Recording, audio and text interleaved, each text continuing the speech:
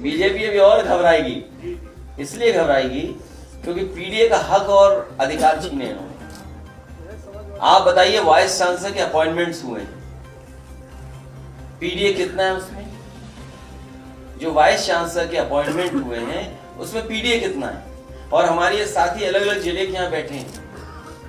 कभी governor house से ये सवाल उठता था कि कौन पोस्ट हुआ है, कितने पोस्ट हुए हैं?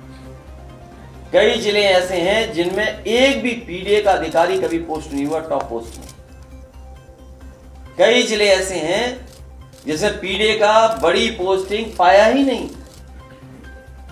तो ये तो केवल एक बात बता रहा हूँ मैं आपको कि यूनिवर्सिटियों में जो अपॉइंटमेंट हुए हैं, चौंतीस में, पीडीए है ही नहीं कहीं, केवल चार पीडीए। और उन्होंने जिनको अपॉइंट किया है अगर वाइस चांसलर अपॉइंट हो गए तो उन्होंने किसको अपॉइंट किया?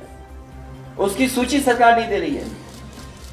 जो लोग छियालीस में छप्पन कहते थे, छियालीस में छप्पन, उन्हें सूची देनी चाहिए कि नहीं देनी चाहिए?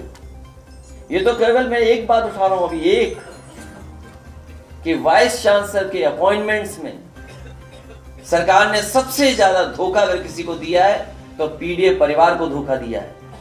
क्या वो उनहत्तर हज़ार के बच्चे किस मंत्री के घर नहीं गए बताओ? वो इसलिए उनके साथ अन्याय हो रहा है कि वो पीडीए परिवार के लोग हैं। पीडीए परिवार के लोग हक मांग रहे हैं। यही उनहत्तर हज़ार में क्या आपने नहीं देखा? कौन सा मंत्री नहीं छोड़ा जिसके घर गए हो?